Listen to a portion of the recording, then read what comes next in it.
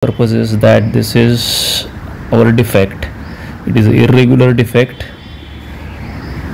It is difficult to immobilize this particular defect. And so we are going ahead with doing a tie over drill in this particular fashion. So what happens here is in this area in the center are the knots and the pressure is distributed in these areas so the pressure is distributed in these particular areas. What happens generally is graft loss is there at the periphery.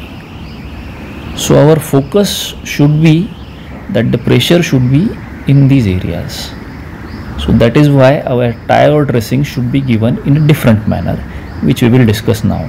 So we take these diagonally opposite sutures. But we don't want to do that what we want to do is take sutures